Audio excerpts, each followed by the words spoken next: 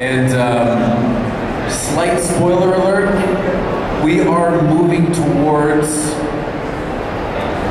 really identifying the character as Green Arrow.